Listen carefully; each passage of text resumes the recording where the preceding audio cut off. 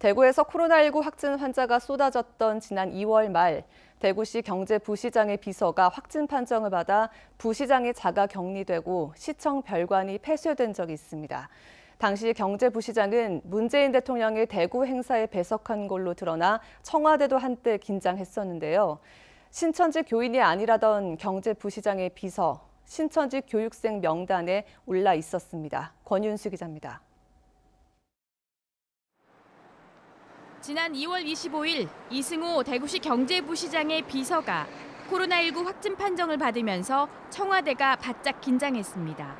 경제부시장은 비서의 밀접 접촉자로 14일간 자가격리 대상인데 부시장은 문재인 대통령과 주요 장관들과의 회의에도 참석했기 때문입니다. 2월 말은 대구에서 코로나19 환자가 쏟아졌던 때로 문 대통령은 직접 대구를 방문해 코로나19 대책 회의를 열었습니다. 대외 활동이 잦은 경제부 시장의 비서라면 적어도 진단 검사를 받고 이를 알렸어야 하지만 확진 판정을 받기 전까지 알리지 않았습니다.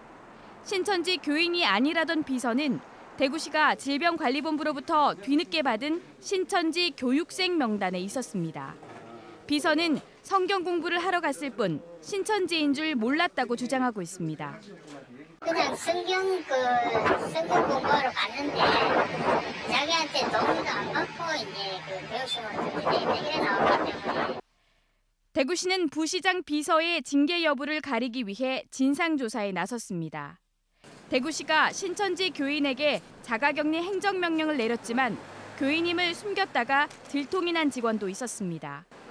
대구 서구보건소 감염병 담당 팀장은 신천지 교인임을 숨기고 계속 출근하다 확진 판정을 받았습니다.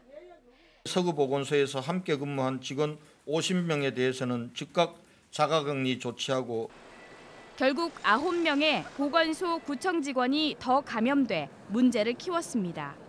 해당 팀장은 보직 해임됐고 징계위원회를 기다리고 있습니다. 코로나19 확진 판정을 받은 대구시 공무원과 공무직은 지금까지 모두 36명.